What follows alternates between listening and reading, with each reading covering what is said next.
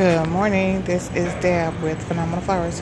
Um, I did do a video yesterday of a preset to show what I was going to set up like. Um, please forgive the tablecloth. I'm just not in the mood to um, press one or dress one or change out one. But other than that, I think everything turned out great.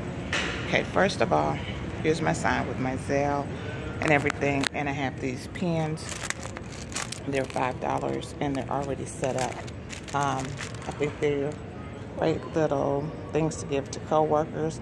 And if you have someone that you want to give a gift card to, just slide the gift card into the back. Um, I have red, orange, and ivory. Okay, uh, I have the prayer books. Prayer is powerful.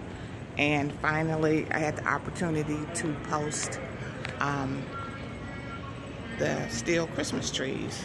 Uh, they're only $10 each. Um, I have some other Christmas arrangements. And um, when I was digging through my containers, I did find about eight more of these little pin sets that are just $3 each. Let me put one out so people will know they're only $3. Um, today's sale is 25 over 25. Uh, anyone that comes up they'll receive a recipe card. I did do a video on these costing less than six cents each to produce. They're really cute. Cute, like the owner, cute, like that person who has this food. Okay, then I have some happy holiday mugs. Um, they have washcloths, incense, and very nice cups. I have two left. That's it of the season greetings. Uh, what I call socks in a box. Um, next, we have three wreaths that are stacked back to back.